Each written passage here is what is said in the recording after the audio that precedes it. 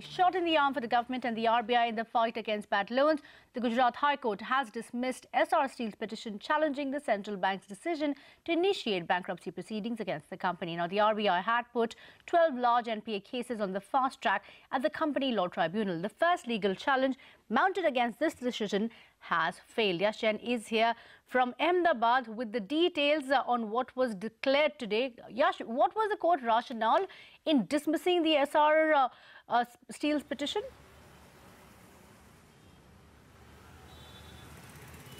Well, yes, after three long days of hearing, the Gujarat High Court today in its order has dismissed Essar Steel's petition seeking a stay on the insolvency proceeding against the company under the Insolvency and Bankruptcy Code.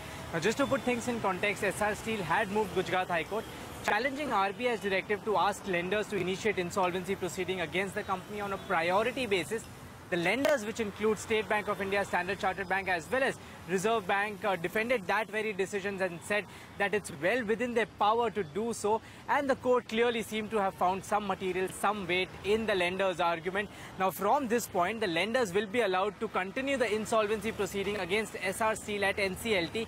But do remember one very important point, Essar Steel will also have the option of approaching Supreme Court uh, in terms of challenging Gujarat High Court's decision today.